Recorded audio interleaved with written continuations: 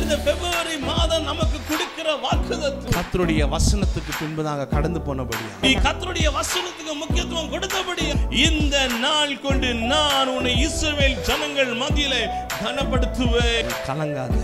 விட்டு கொடுத்து.